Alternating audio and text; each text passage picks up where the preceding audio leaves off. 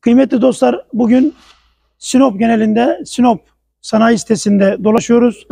Esnaflarımızın bütün sorunlarını not alıyoruz.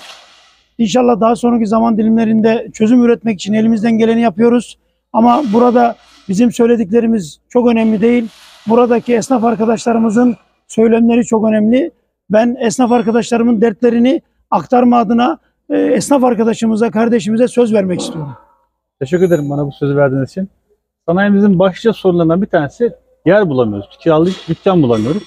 Dükkanlarımızın bulduklarımızı da çok fahiş fiyattan buluyoruz. Sebebi de bana göre gerekli de depo olması. İşte yani birçok deponun bulunması.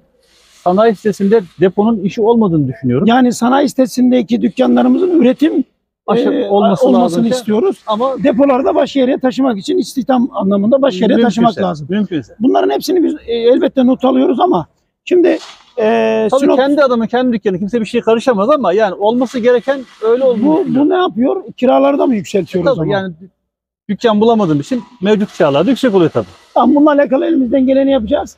E, şu sözü verdik. Bu sözü de vereceğiz.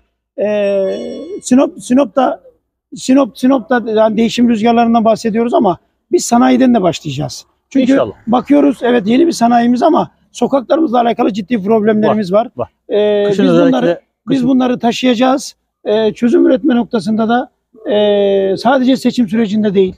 inşallah. Seçim bittikten sonra da kazanalım ya da kaybedelim. Seçim süresinden sonra da tekrar sizleri ziyaret edeceğiz. İnşallah. Çayınızı çorbanızı içeceğiz. İnşallah. Ben tekrar işiniz rast gelsin. Eyvallah, Kolaylıklar diliyorum. Size Teşekkür ederim. Sağ olun. Teşekkür ederiz. Evet kıymetli dostlar, e, bunun gibi bir birçok arkadaşımızın, esnaf arkadaşımızın problemi var. Biz Sinop'ta çözüm üretmeye geliyoruz.